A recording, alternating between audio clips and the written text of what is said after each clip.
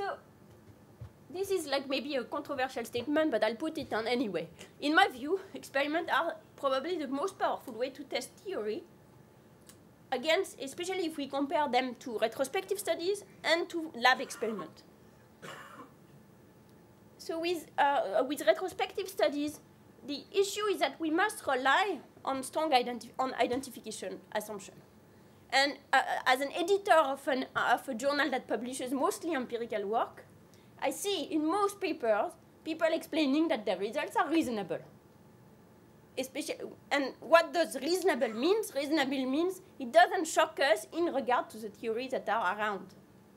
So when you want to test a theory with non-experimental data, you also somewhere need the theory to make sense of your result. So if the results are too surprising, for example, if you find that there is no social learning whatsoever happening in Kenya, you might think, and if it's not you, it might be your referee or the editor, think, well, it's not because there is no social learning, it's because the identification assumptions were wrong. So there is a strong consensus bias because we are never completely sure that our identification assumptions are wrong. So we need a little bit the theory to provide us with some guidance and reassurance. With um, a, a field experiment, we don't have that problem because the theory guides us to run the experiment, but once we run the experiment, the results are there. Feynman was saying, it doesn't matter how smart you are, it doesn't matter how beautiful your theory is, if it doesn't accord to the experiment, it's wrong. So of course you could say, well, it's not true in that context, but then you can always go to another context. So, so that's one thing. Relative to lab experiment, lab experiment have also this flexibility. And in fact, it's through lab experiment that we realize that people are, can share money, etc. But lab experiments are in very specific contexts. It's like usually economics, undergrad students in very specific situation, uh, doing weird things. So often the results are dismissed on the ground that what does, it, what does the behavior of an econ major in a lab tell me about what uh, uh, Mrs. So-and-so would do in the marketplace. So field experiments are less flexible than lab experiments because you're working with real people and it's real programs, so you cannot do everything in their system. But you gain the flexibility, you, you, what you lose in flexibility, you win in realism, and therefore in the fact that these results are much harder to ignore. So I think field experiments have a subversive power that neither observational studies nor lab experiment have. And I think, in a sense, this might be their main strength, and the main way in which they can be useful as a tool to build knowledge. Uh, not only because, well, there is good identification, that's a nice thing, but I don't think that's only it. It's the, it's the fact that they force us to be surprised if we need to be surprised. So let me step back a little bit to the first question. This will be my last, uh, my last, uh, my last word. Uh, by focusing on creative experimentation, are we abandoning the goal to reduce poverty in the narrow sense of income poverty uh, significantly one day? I don't think so. I think we are taking a step back or a step on the side. But I think experimenting with specific programs to fight the ills associated with poverty lack of education, lack of health, corruption, etc., is a necessary first step to eradicating poverty in the sense of income poverty. That's for three reasons. Number one is that to be wealthy, you need to be alive. Another uh, uh, often uh, too much used uh, jokes uh, from Keynes is in the long run we will be dead. I think that's kind of a joke for when he said it, but that's not at all true for the six or seven million children who die every year from diseases that could be prevented by immunization. I think when you see that, you can see what is what good is economic growth going to do to these kids uh, if they are not alive to benefit from it. That's why, in a sense, I think we have to act here and now until we figure out the secret of growth. That doesn't mean we don't have to think of figuring out the secret of growth, but some of it shouldn't focus on the here and now.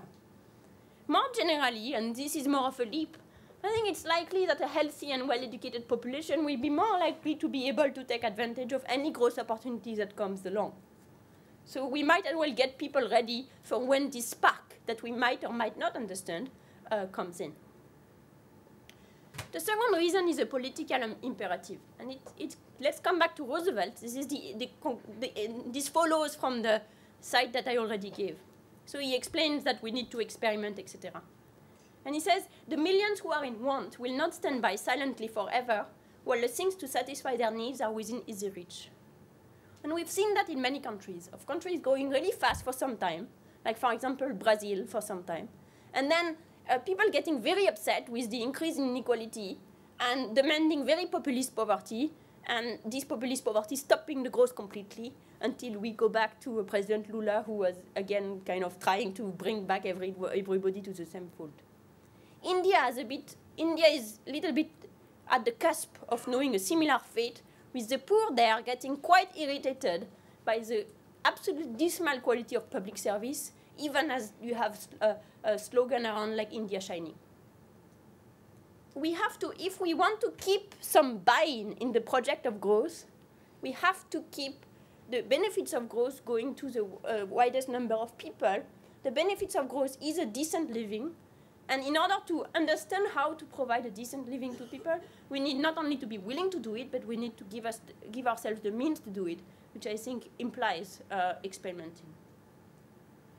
The, the third thing, and this is a little bit more uh, tentative, is that microeconomic estimation might be the key or one key to understanding macroeconomics better.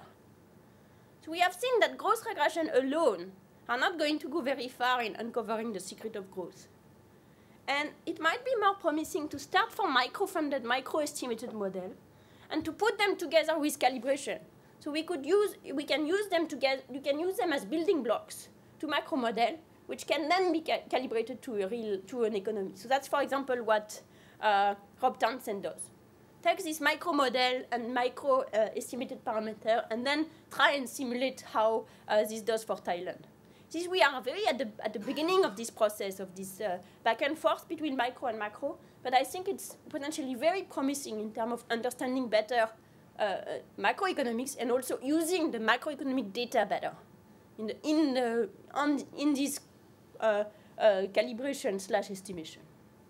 And the better we understand the micro relationship, the more useful the macro model will be.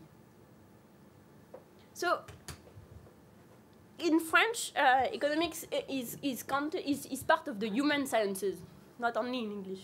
Uh, but not in English, I don't think. So in French, you call economics une science humaine. I like this word very much, because I think we should practice economics as a, as a human science. So first, we should remember it's a science. So we should try to be, continue to be rigorous, impartial, do, do things very carefully, accept failure, etc at the same time, it's a science of human beings, so with all its imperfection, complexities, we understand better today. It's a human science in the sense that it's, uh, it will err.